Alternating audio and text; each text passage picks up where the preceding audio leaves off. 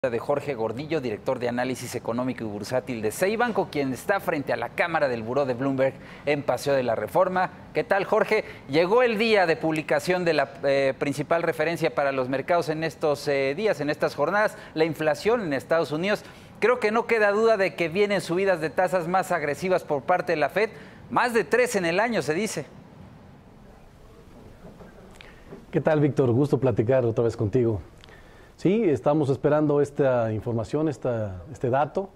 Eh, esperamos esta información porque los datos económicos en Estados Unidos ah, venían dándose muy, muy fuertes y eh, teóricamente todos creemos que mm, tanto la situación económica como las mismas políticas económicas en Estados Unidos pues apuntan a una mayor inflación. Entonces los mercados le han puesto mucha atención a estos indicadores.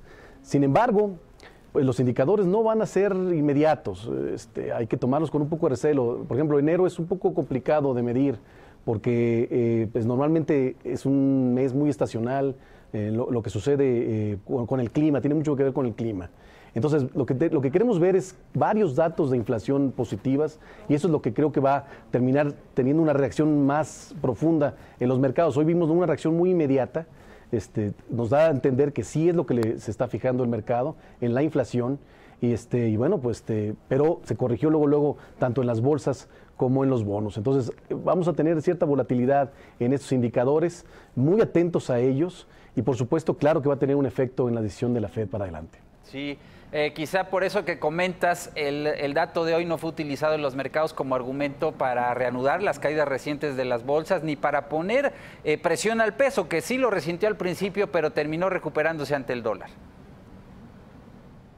Sí, nosotros, el mercado va a tener que irse acostumbrando eh, entre la, eh, diferenciar entre la perspectiva de inflación y los datos como se vayan dando. ¿no?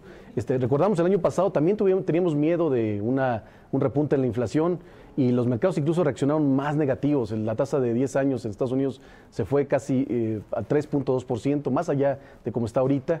Este, este, tenemos esa preocupación de inflación, pero todavía no, no se hace real ni podemos asegurar que la tendencia es eh, completamente positivo o hacia arriba todavía.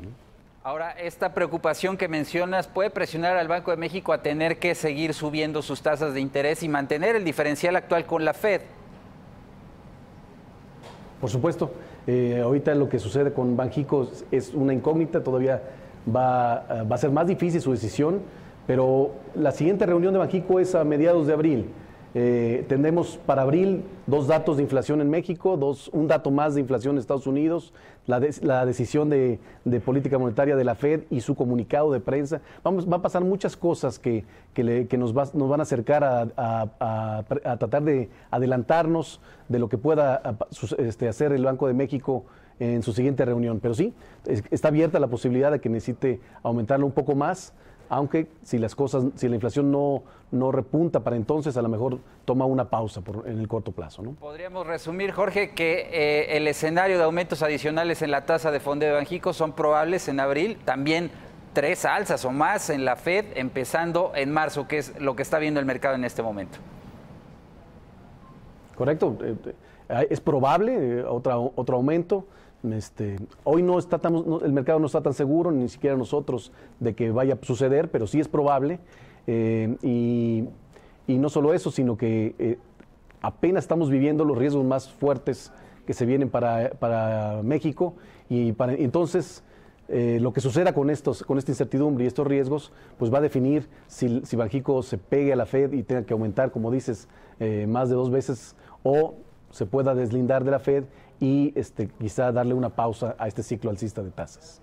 Bien, pues se pone interesante el análisis. Jorge Gordillo, muchas gracias por compartir estas reflexiones y seguimos en contacto más adelante. Claro que sí, Víctor. Gusto saludarte. Gracias.